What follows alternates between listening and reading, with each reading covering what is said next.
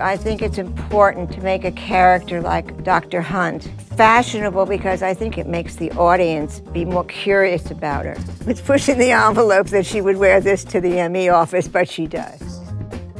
People joke about my character having really high heels, and you know, I go to a crime scene, I'm wearing these really high heels, which I gotta say, it's hard to be kneeling next to a body and in these heels. They're six inch heels. But because of where she comes from, it was part of her armor was to dress like this. It was the way she kind of protected herself to be always put together. The conception of Megan's character was this woman should visually stand out from her surroundings and you know have the handbag and the shoes and a cut above whatever anybody else around her was wearing.